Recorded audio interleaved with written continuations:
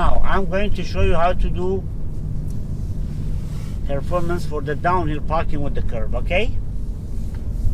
That's also part of the G2 test.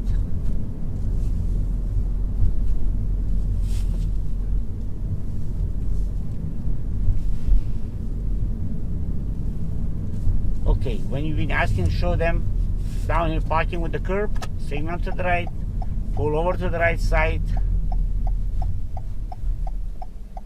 and you are in that situation. You've been asked, show them down downhill parking with the curb, okay?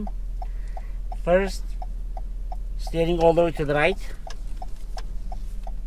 Number two, put the gear to the park. Make sure your signal is off and apply emergency parking. Emergency brake, okay?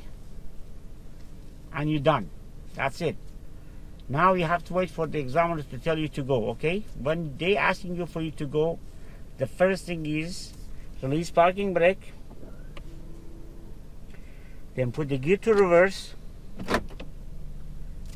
because you have to get off from the curb safely, okay? If you drive, you hit the curb and you fail the test. So you must go to reverse first. After gear to reverse, signal to the right to send a message to the vehicle behind or front of you that you are going back and after signal you must check both side blind spot. Once you check your both side blind spot focus at the middle mirror drive quickly slowly quickly and then recover quickly as the steering two turn to the left. Now more than two turn okay? Your focus should be in the middle mirror because you're going back and recover your steering quickly to turn to the left. Why we did that? Because we have to get out from the curve safely once you get out from the curve safely, it's time for you to change the gear to the drive, signal to the left, left blind spot. If it's clear, do not hesitate to go. Once you go, turn off your signal.